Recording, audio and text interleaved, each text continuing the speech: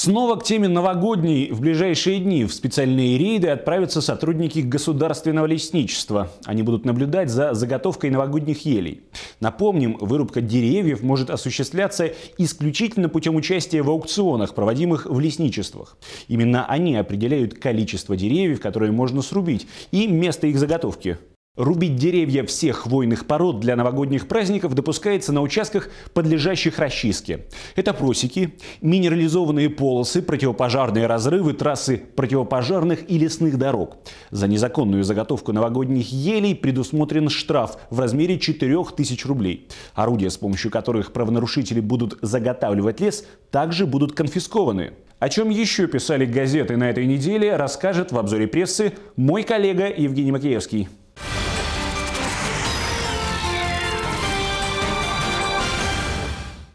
Здравствуйте! Пятницу Россия вступила во Всемирную торговую организацию. Летом будущего года соглашение между Россией и Женевской штаб-квартирой организации должна ратифицировать Госдума. И с 1 января 2013 года правила ВТО начнут действовать на территории Российской Федерации. СМИ обсуждают, что это значит для России. Комсомольская правда решила развенчать разнообразные мифы, окружающие ВТО, и последствия вступления России в эту организацию. Так, например, слухи о том, что в результате этого шага будет ликвидирован АвтоВАЗ, могут оказаться всего лишь слухами. Во-первых, пошлины пошлины на иномарки останутся без изменений минимум 3 года. Это время тольяттинцы могут использовать для модернизации. Во-вторых, на завод пришел Рено. За граница поможет.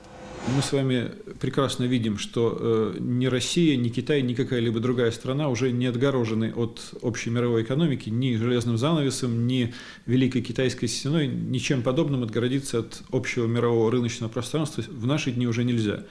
И нужно в нем работать по тем правилам, которые существуют. Посмотрим, э, будут ли э, особенно заметные издержки или особенно заметные выгоды этого нового положения России как члена ВТО. Время покажет будем возлагать надежды на лучшее. Потерянные вещи, деньги, ценности, документы и даже животных теперь можно будет найти в отделении полиции, сообщает российская газета. Как, кстати, и сдать находку.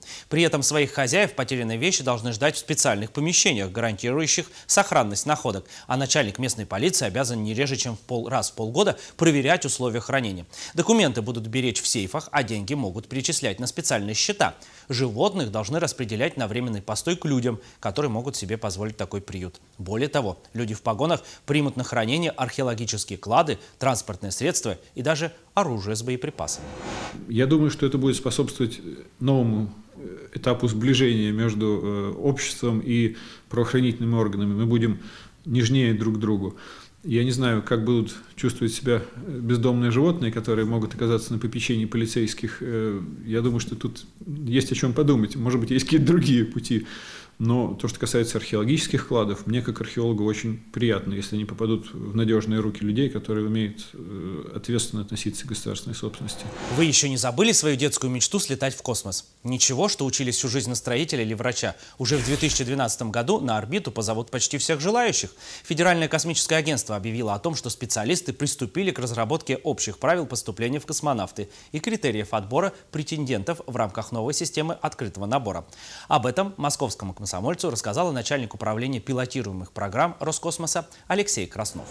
Здорово, что Россия, которая была пионером освоения космического пространства, сегодня вот э, становится более прозрачной, более открытой в этом отношении. И теперь может быть космонавтом не только человек в погонах, который с самого детства э, намеревался служить Родине э, как воин, как солдат, но и человек, который, может быть, э, хочет служить Родине на космических орбитах и оставаясь человеком гражданским.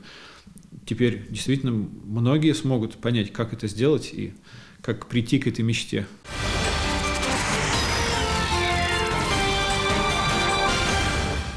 Хищный взгляд и длинные рога. Настоящий буйвол появился в Череповецком музее природы. И не только буйвол, а целое стадо разных копытных. Правда, собственно, копыт у них нет. Это экспонаты новой выставки «Африка Сафари». И личные трофеи и подарки Вячеслава Позгарева. По мнению специалистов, все чучела сделаны очень качественно. Их производством практически два года занимались в Африке. Теперь трофеи охотника станут частью постоянной коллекции в Музее природы. Алена Смирнова туда съездила и узнала, каково это на буйвола ходить.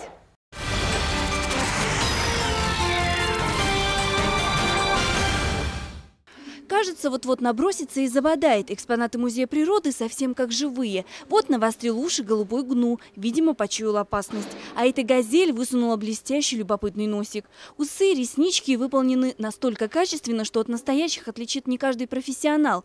Чучела животных заказывали в Африке, потом в больших деревянных коробках перевозили через моря и океаны. На все это ушло два года. К примеру, гуляя по лесу, мы еще можем увидеть ежика, лисичку, лося, то э, с антилопами, с африканским буйволом мы точно в наших вологодских лесах нос к носу не столкнемся. Я думаю, что выставка а, очень интересная, очень познавательная, животные очень красивые. Все экспонаты – личные трофеи теперь уже экс-губернатора Вологодской области Вячеслава Позголева и его внука. Как признается Вячеслав Евгеньевич, у внука подстреленных животных больше, зато ему самому попались самые опасные звери. Главная удача африканской охоты – поймать буйвола. Наряду со львом, леопардом, слоном и носорогом он входит в большую пятерку самых значимых охотничьих трофеев. Кроме того, буйвол очень силен и бьется до последней капли крови. Антилопа Канна удивительно доброжелательна. Их вид уже не раз пытались одомашнить. Канны дают питательное и жирное молоко, не хуже, чем коровье. Такие антилопы вырастают до 4 метров в длину и могут весить больше тонны. Зато их сородичи, антилопы Стенбак, совсем крошечные, всего 16 килограммов. Антилопа импала тоже не отличается большими размерами. Живут они стадами, небольшими стадами, где-то от 16, от 16 до 20 а, животных. Очень интересно, импалы приспособились э, к жаркому климату Африки. И если становится уж совсем не в моготу, то температура импал повышается на примерно где-то на 7 градусов, и это позволяет им очень хорошо а, переносить вот такие перепады а, климата, африканского климата. Бородавочника называют радиом Африки. В момент опасности животное поднимает хвост вверх, и значит нужно спасаться бегством. А еще у этого животного шесть симметрично расположенных бородавок, поэтому и зовется бородавочник.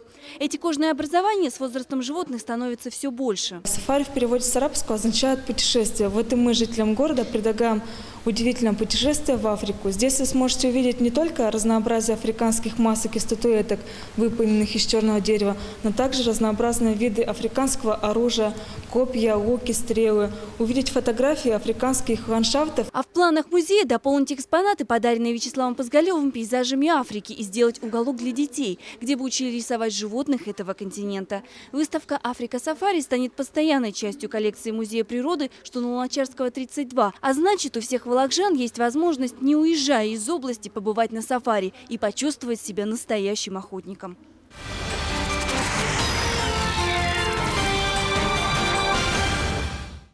День отца отмечали на этой неделе, причем уже в десятый юбилейный раз. Выставки, веселые конкурсы, концерты по случаю этого праздника проходили на территории всей Вологодской области. И с каждым годом в этих мероприятиях участвует все больше пап и их детей. В Череповце праздник прошел во Дворце строителей и объединил более 300 семей. Мой коллега Павел Панов побывал там, познакомился с участниками и составил портрет идеального отца.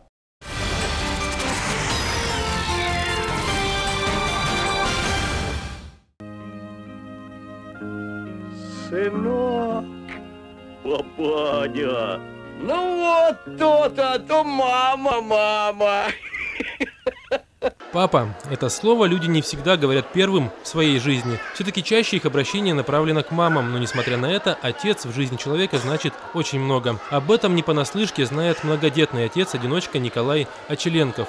Его сыну уже 40 лет, а дочерям 30 и 10. Старшие дети утроили счастье Николая, подарив ему трех внучек. Быть отцом – это прекрасно, это у тебя забота о воспитании будущего так поколения замену себе. Ну, возвышенные чувства, какие там чувства отцовства сразу появилась, забота более такая о семье, уже о жене, о ребенке. Сейчас все внимание и забота Николая направлены на воспитание младшей дочери Виталины. Вместе они проводят огромное количество времени. Летом они ездят на дачу, где дочь помогает папе по хозяйству и даже в строительстве бани. Зимой Николай и Виталина много гуляют и играют на свежем воздухе. Я люблю за то, что он у меня есть, что он сильный, что что он любимый, что он всегда только не будет уходить далеко, что будет всегда со мной рядом. Вот и сейчас они пришли на праздник в ДК «Строитель». Здесь прямо в фойе проводились мастер-классы для отцов. Одни обучали фокусам, другие рассказывали, как вкусно готовить. Кто-то передавал мастерство рисования шуточных шаржей. А вот Юрий Дешинов показывал папам и их детям, как из бумаги можно сделать удивительные по красоте снежинки, а также научил, как делать узоры на стеклах и зеркалах. Ну, назначение отца, наверное, в большей степени это все-таки вырастить детей наших, воспитать, чтобы они были такими же умными, хорошими, добрыми и всегда не забывали родителей. Вот. Ну и чтобы тоже рожали хороших детей. День отца в городе на Шексне отмечается уже в юбилейный десятый раз. Череповец стал одним из первых городов России, где начал отмечаться День отца. Было это в 2002 году. Дата праздника была выбрана во второе воскресенье декабря через две недели после празднования Российского Дня Матери. Тогда в первый раз на праздник пришли всего 7 семей. Спустя годы, благодаря спонсорам и поддержке властей, День отца стали отмечать десятки тысяч людей по всей области. Только в ДК «Строитель» в Череповце на мероприятие пришли более 300 семей во главе с папами. Папы есть совершенно молодые, у которых только-только родились дети, но они уже папы, они хотят участвовать в праздниках, в конкурсах. Есть папы очень в возрасте, у которых это последний ребеночек, например, или вот ну поздно родился. Есть папы самые разные по профессии. Слесарь, токарь, менеджер, директор банка, работник Северстали разных уровней и так далее. Совершенно разные папы. Но и всех объединяет то, что они любят своих детей, они гордятся своими детьми, они хотят, чтобы их дети выросли замечательными людьми. Папа для меня это все, так говорили многие дети на сегодняшнем празднике. Мы же решили узнать, какими именно качествами должен обладать идеальный отец. Добротой, любовью, заботой. Ну, он мне в первую очередь дал жизнь обучение. Не знаю, просто воспитал меня. Быть заботливыми, с детьми больше заниматься, спортом заниматься с детьми, быть в семье, вот, во всем участвовать в жизни. Не пить водку. С молодых ногтей и обучать всему, и содержание обеспечивать, и жилье, и обучение дальнейшее, все, все, все. Вот и до. Это человек, который с тобой может нормально поговорить, если какие-то проблемы. Может посоветовать что-нибудь добрый, смелый, уважающий личность в ребенке, подающий ему пример. Тот, кто заботится о семье в первую очередь, на кого ты можешь положиться, это такое дисциплинирующее, хранительное начало и в то же время достаточно любящее. Наверное, один из главных мужчин жизни. Это отец. Здесь, в ДК «Строитель», лучших пап наградили благодарственными письмами от мэра города, а также были подведены итоги городского конкурса «Вместе с папой», где победители, а это шесть пап, получили памятные подарки. А венчал праздник концерт с песнями и танцами.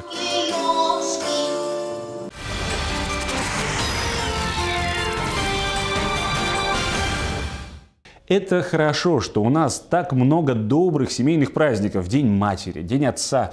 Это сближает, делает дружными семьи. А самый главный семейный праздник, по-моему, это все-таки Новый год. Я полностью согласна с тобой. Хорошо, когда за новогодним столом собираются все родные, поздравляют друг друга и загадывают желания. На сегодня это все. Это были новости итоговая программа. Для вас работали Виктория Пименова и Александр Соколов. Всего доброго. Увидимся через неделю. Пока.